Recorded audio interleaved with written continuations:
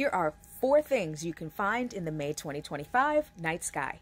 On May 2nd, asteroid Vesta will reach opposition, or it'll be opposite of the sun in our sky, giving us a great chance to be able to see it if you have binoculars.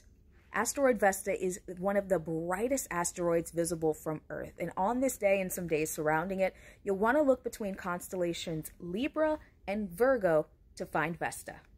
Just a few days later, on the night of the 5th into the 6th, the Eta Aquariids meteor shower will peak. Based on my research, it does look like this might be better visible for our neighbors in the southern hemisphere or close to the equator. However, if you live farther north, you still could see 10 to maybe 30 meteors per hour under optimal conditions. This meteor shower is caused by Earth moving through the debris of Halley's Comet.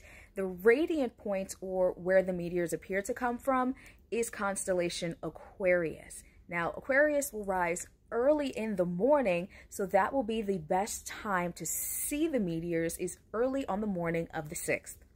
Just about a week later, on the 12th, we have the full flower moon, which will rise and be up all night. May's full moon will also be what's called a micro full moon, just meaning that it's farther away from Earth in its monthly orbit, so it will appear a bit smaller in the sky. And at the end of the month on the 31st, Venus will appear farthest away from the sun in the morning sky. This is also known as greatest western elongation.